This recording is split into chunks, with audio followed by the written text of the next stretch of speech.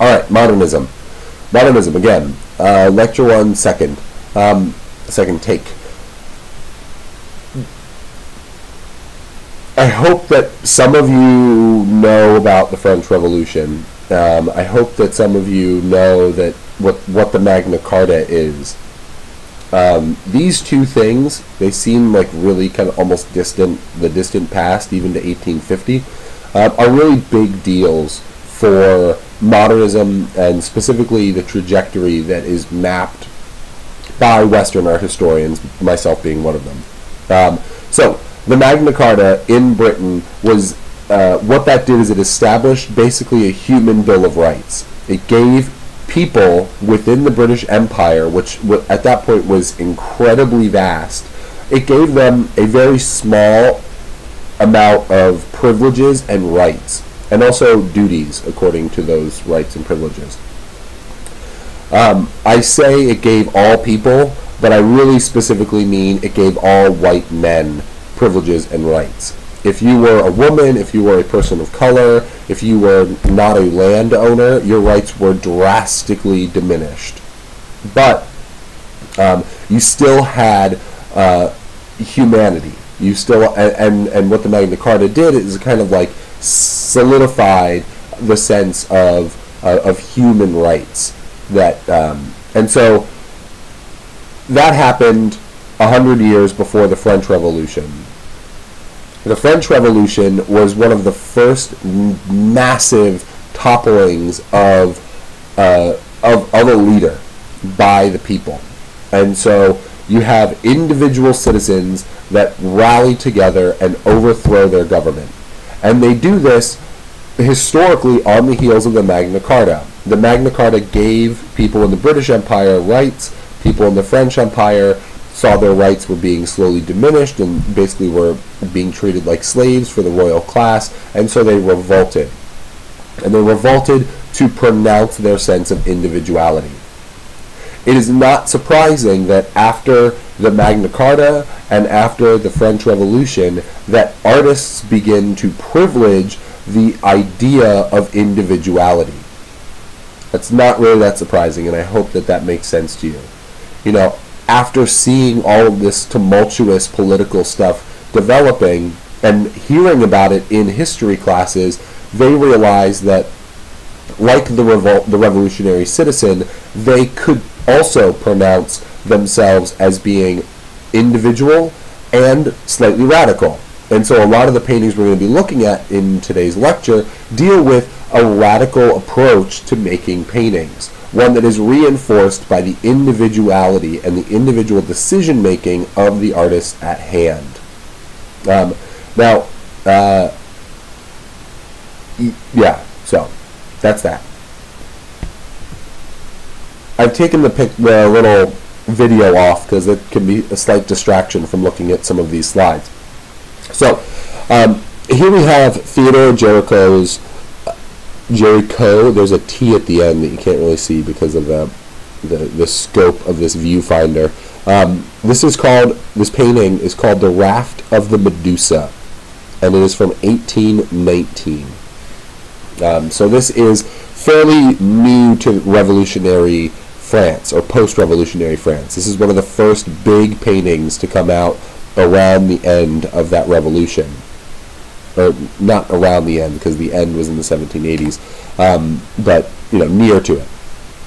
Now, what this painting uh, encapsulates is a true life story of a ship that was um, destroyed in a storm and a raft of people that were uh,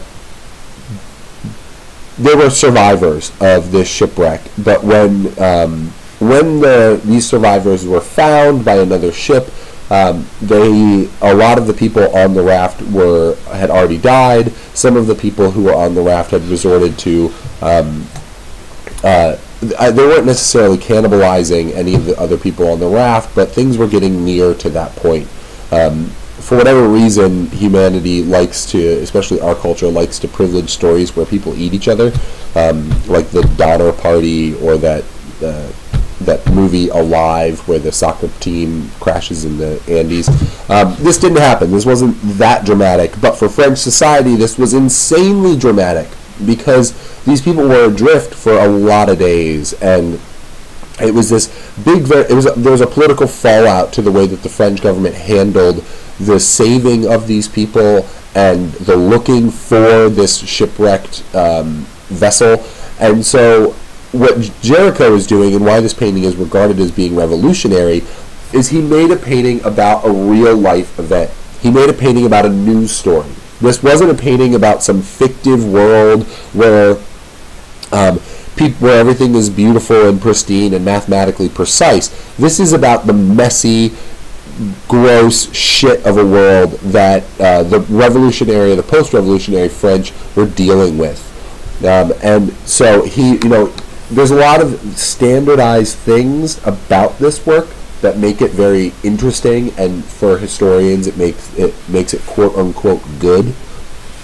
Um, those things have to do with the motion of the canvas. I mean, you can see the tumultuous seawater in the back rising and falling with this very large wave on uh, what is your left hand side and kind of de- diminishing into um, a slightly smaller wave in the background on the right hand side.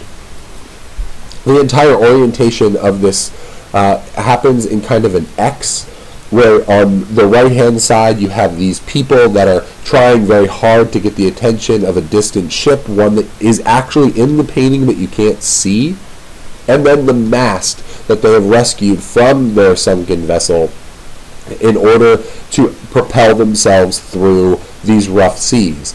And so you have this, this structure that failed them, and then the people. And those are the two axes that this painting deals with. This orthogonal or diagonal uh, mast here that runs down and kind of highlights this corner of the raft, um, dead bodies included.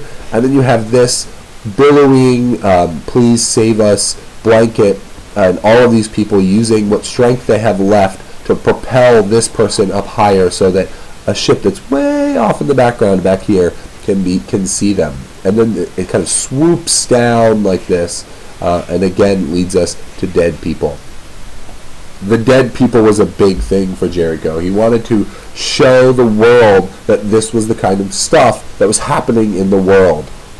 This placated, um, uh, Republican, and I say Republican in in this old French way, where the, there are people who were supporting the Republic of France. They were um, uh, those are the people that wanted to see this kind of truth. Um, you know, now we use the terms Republican and Democrat to mean two very different things, but uh, the French Republic, the Republican in the French sense in 1819 had to do with uh, those who were privileging the Republic over the um, the imperial. Excuse me, I'm, I'm as you can probably tell, I'm a little under the weather, but I will push forward. Eugene Delacroix, uh, Liberty Leading the People from 1830. Eugene Delacroix is a hugely influential painter for the people that we're going to be talking about in the next two sections of this lecture. Uh, he was one of the leaders of the École des Beaux-Arts, which was the leading art school in France, which because of the French position in the global art world, it was the best art school in the world.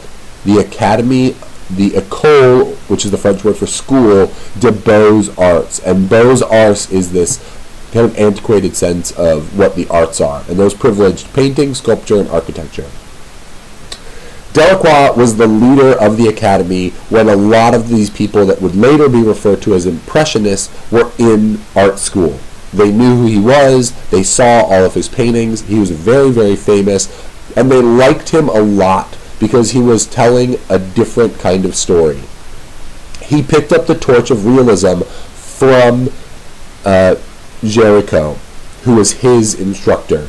And here you have uh, this quasi-fictive scene where you actually have people of the French society that are rising up and they're being led by this allegorical character and we're going to talk about allegory later on but this allegorical figure of liberty who is seen with French flag in one hand, bayonet in the other. Um, you might be wondering, you know, why is the, this one lone female figure um, bare-chested in this painting? That's specifically done to indicate that she is not of this world. Any woman, even a revolutionary woman, would have covered herself up in preparation for any kind of social engagement, whether that be going to tea at someone's house or fighting an army. This, the fact that we can see her chest, her bare chest, has to do with the fact that this is supposed to be read as an inspirational spirit or an inspirational guide for the revolt.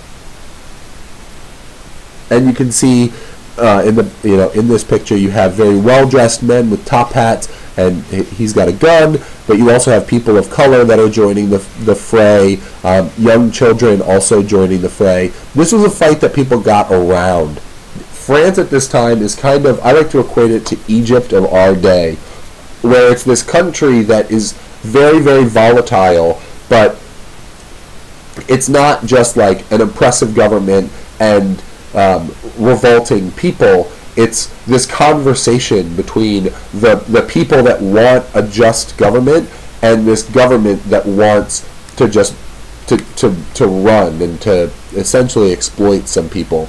Uh, and so there's this ebb and flow back and forth between the people and who they're fighting against. So Delacroix, massively important guy. This painting is one of the most important paintings in modern art history. Um, and you can see this kind of brushy paint uh, that he applies here. I mean, this back here, these clouds, um, but even the way he renders some of these bodies, this is supposed to be a very messy, a very chaotic scene. Delacroix is referred to often as a romantic with a capital R, as in his pictures are very uh, dramatic. They have this heightened sense of drama, and it's that heightened sense of drama that is equatable to the idea of the romantic.